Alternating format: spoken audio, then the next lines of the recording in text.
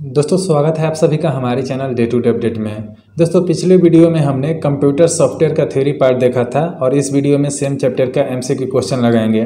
Total हमने 40 जो है एमसीक्यू क्वेश्चन यहाँ पे लिया है और सभी के सभी जो एमसीक्यू है इंपॉर्टेंट है तो आप ज़रूर वीडियो के अंत तक बने रहिएगा। ओके और हम ये कहेंगे आपसे कि ये अगर आप वीडियो देख रहे हैं एमसीक्यू वाला तो इससे पहले आप थ्योरी का वीडियो देख लीजिए तो आपको अच्छे से सभी क्वेश्चन समझ में आएँगे। ओके okay, सबसे पहला यहाँ पे क्वेश्चन है कि व्हाट इज़ सॉफ्टवेयर सॉफ्टवेयर क्या है? सॉफ्टवेयर क्या है? तो सॉफ्टवेयर जो है प्रोग्रामों का संग्रह है ओके? क्वेश्चन नंबर दो है कि निम्नलिखित में से कौन सा सॉफ्टवेयर का प्रकार है?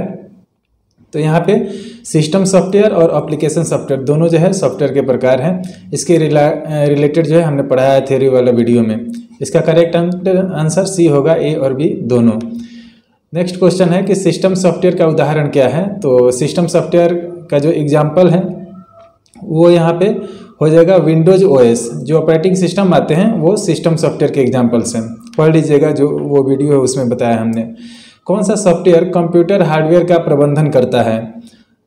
तो जो यहाँ पे यूटिलिटी सॉरी जो सिस्टम सॉफ्टवेयर है, वो कंप्यूटर हार्डवेयर का प्रबंधन करता है मैनेजमेंट देखता है। अगला क्वेश्चन है यहाँ पे कि एप्लीकेशन सॉफ्टवेयर का कौन सा इसमें से एग्ज़ाम्पल है? एप्लीकेशन सॉफ्टवेयर यहाँ पे मैंने एप्स का पूछ रहे हैं यहाँ पे। एप्लीकेशन सॉफ्टवेयर का एग्जांपल यहाँ पे हो जाएगा एम एस ऑफ़िस यहाँ पे जो लिनक्स है और और जो यहाँ पे बायोस है, ये एक तरह का ऑपरेटिंग सिस्टम है। यहाँ पे एंटी वायरस जो है, ये यूटिलिटी सॉफ्टवेयर के अंदर आता है। यहाँ पे करेक्ट आंसर हो जाएगा M S office option number C next question है कि इनमें से कौन सा ऑपरेटिंग सिस्टम है? तो यहाँ पे जो विंडोज़ है, वो ऑपरेटिंग सिस्टम है। बाकी सब भी जो है एप्लीकेशन सॉफ्टवेयर का एग्ज़ाम्पल है ये। ऑप्शन सी करेक्ट आंसर होगा। नेक्स्ट क्वेश्चन है कि ऑपरेटिंग सिस्टम अपने ग्राफिकल यूज़र इंटरफेस के लिए जाना जाता है। कौन सा ऑपरेटिंग सिस्टम है? जिस, जो अपने आई के लिए जाना जाता है ग्राफिकल यूज़र इंटरफेस के लिए। इसका करेक्ट आंसर होगा। ऑप्शन नंबर सी होगा। विंडोज़ जो है, इसमें बहुत ही अच्छे आई होते हैं। इसका इसके बारे में मैंने बताया है कि ग्राफिकल यूज़र इंटरफेस क्या होता है थ्योरी वाला वीडियो आप चेकआउट कर सकते हैं। ऑपरेटिंग सिस्टम का मुख्य कार्य क्या है? एट्थ क्वेश्चन है। जो ऑपरेटिंग सिस्टम है, उसका मुख्य कार्य है हार्डवेयर संसाधनों का प्रबंधन करना मैनेजमेंट देखना है हार्डवेयर का। नेक्स्ट क्वेश्चन है कि इनमें से कौन सा यूटिलिटी सॉफ्टवेयर है? तो यूटिलिटी सॉफ्टवेयर यहाँ पे हमने आपको बताया, जो एंटीवायरस है, वो यूटिलिटी सॉफ्टवेयर का एग्ज़ाम्पल है। नेक्स्ट है कि आई का फुल फॉर्म क्या होता है? स्टैंड फॉर क्या होता है? तो ग्राफिकल यूज़र इंटरफेस इसका स्टैंड फॉर होता है। नेक्स्ट है कि वेब विकास के लिए कौन सी प्रोग्रामिंग भाषा का यूज़ किया जाता है? तो वेब के डेवलपमेंट सॉरी वेब डेवलपमेंट के लिए, यानी वेबसाइट वगैरह बनाने के लिए कौन सा भाषा यूज़ किया जाता है? तो ये होता है एस टी एम एल यहाँ पे एस टी एम एल है। इसका जो फुल फॉर्म होता है, आप याद कर लीजिएगा हाइपर टेक्स्ट मार्कअप लैंग्वेज होता है। ओके एच का ये पूछता है डायरेक्टली पूछ लेता है एग्जामिनेशन में hyper text markup language next है यहाँ पे कि रिटेल सॉफ्टवेयर क्या है? तो वैसे सॉफ्टवेयर जो आम जनता, यानी जो जनरल पब्लिक है, उसको बेचे जा, बेचा जाता है, वो रिटेल सॉफ्टवेयर कहलाता है। ओ सॉफ्टवेयर मतलब ओ पहले समझ लीजिए, इसके बारे में हमने बताया उस वीडियो में, फिर भी बता देते हैं। इसका मतलब होता है ओरिजिनल इक्विपमेंट इक्विपमेंट और मैन्युफैक्चरर होता है। ओके ओरिजिनल इक्विपमेंट मैन्युफैक्चरर इसका जो है स्टैंड फॉर होता है और ये क्या करता है? देखिए, मूल उपकरण निर्माता द्वारा प्रदान किया गया सॉफ्टवेयर होता है। जो भी आप मोबाइल या फिर लैपटॉप लेते हैं, जो पहले से सॉफ्टवेयर प्री इंस्टॉल लाते हैं मोबाइल या लैपटॉप में, उसी को बोला जाता है ओईएम सॉफ्टवेयर मूल उपकरण निर्माता द्वारा प्रदान किया गया सॉफ्टवेयर होते हैं ये। इसके बारे में भी पढ़ाया था हमने वीडियो में। एडवेयर क्या है? तो एक देखिए एडवेयर विज्ञापन प्रदर्शित करने वाला जो सॉफ्टवेयर होते हैं, वो कहलाते हैं एडवेयर एड मतलब होता ही है विज्ञापन तो उससे रिलेटेड है। ओके स्पाईवेयर क्या कहलाते हैं? ऐसे एप्लीकेशन जो यूज़र्स के गतिविधि पर जो है जासूसी करते हैं, उसे स्पाईवेयर सॉफ्टवेयर कहते हैं। यहाँ पे उपयोगकर्ता गतिविधि पर जासूसी करने वाले सॉफ्टवेयर स्पाईवेयर कहलाते हैं। कौन सा सॉफ्टवेयर यूज़ करने और साझा करने के लिए मुफ़्त है? तो फ्रीवेयर जो फ्री में यूज़ करने के लिए अवेलेबल है, वो हो गया फ्रीवेयर नेक्स्ट क्वेश्चन है कि कौन सा सॉफ्टवेयर शुरू में मुफ़्त होता है, लेकिन अतिरिक्त सुविधाओं के लिए भुगतान की आवश्यकता होती है? तो वो कहलाते हैं आपको शेयरवेयर पहले तो आपको शेयर कर दिया जाता है कि आप फ्री में यूज़ कर लीजिए जैसे ही आप उसको यूज़ हो जाते हैं, उसको यूज़ करने का आदि हो जाते हैं या फिर लत, आपको लग जाता है, लग जाता है आपको कि आपके काम का है तो उसमें जो है अलग अलग यहाँ पे पेड जो है कर दिया जाता है उसको अलग अलग टाइप से। तो बाद में उसको आपको पैसा देना पड़ता है उसके लिए। तो वो होते हैं शेयरवेयर। नेक्स्ट है यहाँ पे कि इनमें से कौन सी प्रोग्रामिंग भाषा नहीं है? तो यहाँ पे देखिए, जो एम एस एक्सल है, ये स्प्रेड सीट अप्लीकेशन सॉफ्टवेयर है। स्प्रेड सीट अप्लीकेशन सॉफ्टवेयर का एग्ज़ाम्पल है एम एस एक्सल इसलिए करेक्ट आंसर सी होगा। और यहाँ पे जो पाइथन हो गया जावा हो गया और सी प्लस प्लस है, ये प्रोग्रामिंग लैंग्वेजेस हैं। इसमें से कौन सा सॉफ्टवेयर टेक्स्ट दस्तावेज़ बनाने और संपादित करने में मदद करता है? तो आपको पता होगा, जो एम एस वर्ड है माइक्रोसॉफ्ट वर्ड वो सॉफ्टवेयर टेक्स्ट और डॉक्यूमेंट्स बनाने में काम आता है। नेक्स्ट यहाँ पे यूटिलिटी सॉफ्टवेयर का मुख्य कार्य क्या है? तो ये जो है सिस्टम का रख रखाव करता है सिस्टम का मेंटेनेंस देखता है यूटिलिटी सॉफ्टवेयर जैसे कि आपका एंटीवायरस सॉफ्टवेयर हो गया, ये सब आते हैं इसमें एग्ज़ाम्पल में। क्वेश्चन नंबर ट्वेंटी फ़र्स्ट है कि इंटरनेट ब्राउजिंग के लिए कौन सा सॉफ्टवेयर उपयोग किया जाता है? तो वेब ब्राउज़र अलग अलग टाइप का ब्राउज़र का एग्ज़ाम्पल हमने बताया है। जैसे कि क्रोम हो गया क्रोम हो गया मोजाइला फायरफैक्स हो गया मोजाइला फायरफैक्स ब्राउज़र आता है। अलग अलग एग्ज़ाम्पल हमने बताया है माइक्रोसॉफ्ट का एज आता है।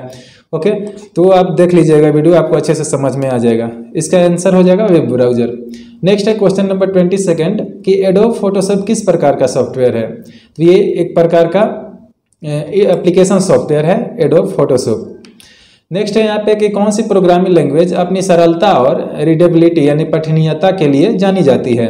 इसका करेक्ट आंसर सी होगा। पाइथन जो लैंग्वेज है, थोड़ा सिंपल बनाया गया है, जो पहले के लैंग्वेजेस थे। उसके कंपैरिजन में बहुत ही सिंपल सिंपल है प्लस में आप अच्छे से इसको रीड कर सकते हैं, पढ़ सकते हैं तो पाइथन हो जाएगा करेक्ट आंसर नेक्स्ट यहाँ पे, इससे पहले हमने एक और लैंग्वेज आपको बताया है एस टी एम एल तो ये जो है वेब डिज़ाइनिंग में यूज़ होता है web S T M L और पाइथन ये क्वेश्चन इससे रिलेटेड है पाइथन होगा आंसर नेक्स्ट है कि कौन सा सॉफ्टवेयर हार्डवेयर निर्माता द्वारा प्रदान किया जाता है और अक्सर पूर्व स्थापित यानी प्री इंस्टॉल्ड आता है। तो अभी हमने बताया आपको ओरिजिनल इक्विपमेंट मैन्युफैक्चरर जो सॉफ्टवेयर है, वो पहले से मोबाइल और लैपटॉप में प्री इंस्टॉल्ड आते हैं। निम्नलिखित में से कौन सा फ्री वेयर का उदाहरण है जो फ्री में यूज़ करने को मिले? तो जो फ्री में यूज़ करने वाला यहाँ पे है एडोब रीडर जो है, वो फ्री में अवेलेबल है, इसलिए ये फ्री वेयर है। बाकी जो माइक्रोसॉफ्ट है विंडोज़ जो है नोटन एंटीवायरस है, ये आपको पे करना पड़ता है, इसलिए जिसके पास लाइसेंस की रहता है, वही इसको यूज़ कर सकता है। नहीं तो आपको बाई करना पड़ता है मार्केट से लाइसेंस की डालना पड़ता है एप्लीकेशन में, तभी एक्टिवेट होता है। वैसे इसको आप गलत तरीके से थर्ड पार्टी से डाउनलोड करके चलाते हैं, लेकिन उसमें वायरसेज वगैरह आने के चांसेज रहते हैं। कौन सा सॉफ्टवेयर सिस्टम प्रदर्शन का विश्लेषण यानी एनालाइज और अनुकूलन करने में मदद करने के लिए डिज़ाइन किया गया है? क्या कह रहा है कि which software is design to help analyse and optimise system performance जो यूटिलिटी सॉफ्टवेयर आते हैं, वो यहाँ पे जो सिस्टम के परफॉर्मेंस देखते हैं और एनालाइज करते हैं और ऑप्टिमाइज करते हैं।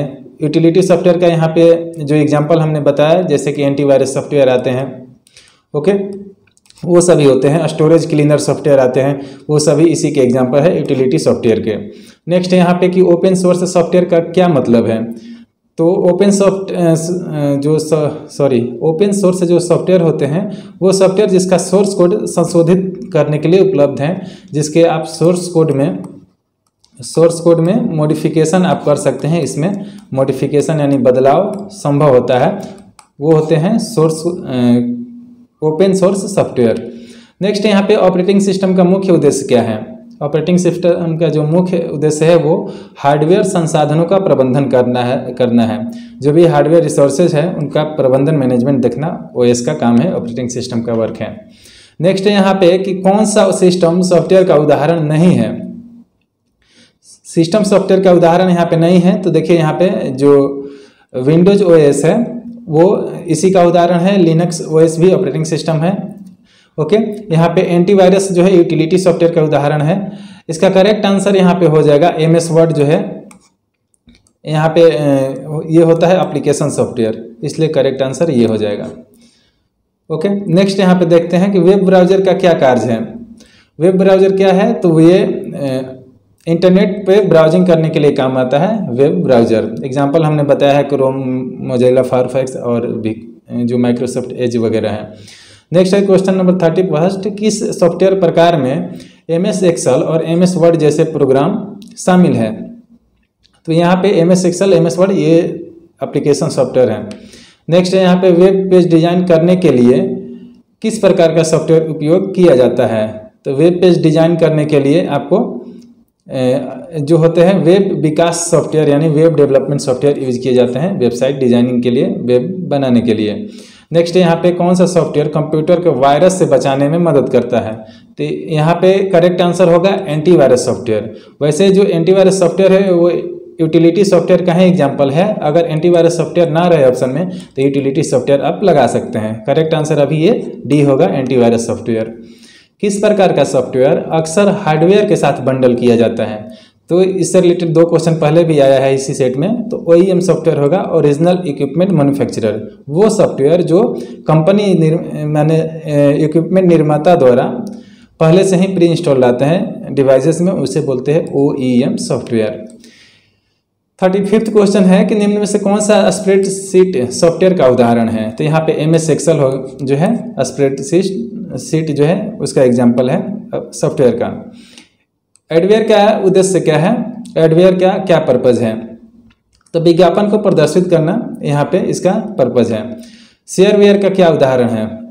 शेयरवेयर उदाहरण देखिए यहाँ पे, जो विन आर आर है, वो शेयरवेयर का उदाहरण है। शेयरवेयर के बारे में अभी हमने बताया आपको। कि वैसे सॉफ्टवेयर जो शुरू में तो फ्री होते हैं लेकिन बाद में उसको पेड कर दिया जाता है तो उसे बोलते हैं शेयरवेयर तो विन आर आर ऐसी, इसी टाइप का है। इसमें दो तरह के आते हैं। एक फ्री वर्जन होता है, बहुत कम फैसिलिटीज़ मिलता है, और पेड वर्जन में कुछ एक्स्ट्रा फैसिलिटीज़ मिलता है। ये होते हैं शेयरवेयर का example question number thirty eight है कि इनमें से कौन सा सॉफ्टवेयर का प्रकार सीमित परीक्षण अवधि के साथ प्रदान किया जाता है, यानी लिमिटेड ट्रायल के लिए दिया जाता है। इसका जो करेक्ट आंसर होगा ऑप्शन नंबर बी होगा शेयर वेयर होगा। देखिए फ्री वेयर तो लाइफ टाइम आपको फ्री होता है। ओ सॉफ्टवेयर पहले से कंपनी निर्माता द्वारा दिया जाता है और रिटेल सॉफ्टवेयर जो है, पहले शुरू से ही पेड होता है। ये ग्राहक को बेचा जाता है, आम जनता को। जो करेक्ट आंसर होगा option number B shareware होगा। वही शेयर वेयर जिसको शुरू में फ्री रखा जाता है और बाद में पेड कर दिया जाता है, उसी के बारे में बोल रहा है। नेक्स्ट क्वेश्चन है कि फाइलों को कंप्रेस करने के लिए, यानी संपीड़ित करने के लिए, छोटा बनाने के लिए साइज़ को छोटा करने के लिए कौन सा सॉफ्टवेयर उपयोग किया जाता है? इसका करेक्ट आंसर होगा option number C win R R next और इस सेट का लास्ट क्वेश्चन है कि फ्रीवेयर और शेयरवेयर में मुख्य अंतर क्या है? तो इसका correct answer option number A होगा। फ्रीवेयर हमेशा के लिए मुक्त होता है, लेकिन शेयरवेयर को भुगतान की आवश्यकता पड़ सकती है या हो सकती है। तो ये यहाँ पे टोटल 40 क्वेश्चन हमने बताया आपको। इस चैप्टर से रिलेटेड जो भी क्वेश्चन बन सकता था, हमने बनाया। और सभी के सभी क्वेश्चन जो है इंपॉर्टेंट हमने लिया है और जो अभी ट्रेंड चल रहा है अभी कंप्यूटर के क्वेश्चंस का उन सभी ट्रेंड पे आधारित है और बी एस में इससे रिलेटेड बहुत सारे क्वेश्चन पूछे गए हैं एक ही चैप्टर से। तो वीडियो अच्छा लगा होगा तो लाइक कर सकते हैं और अपने दोस्तों के साथ इसे शेयर कर सकते हैं। Thank you so much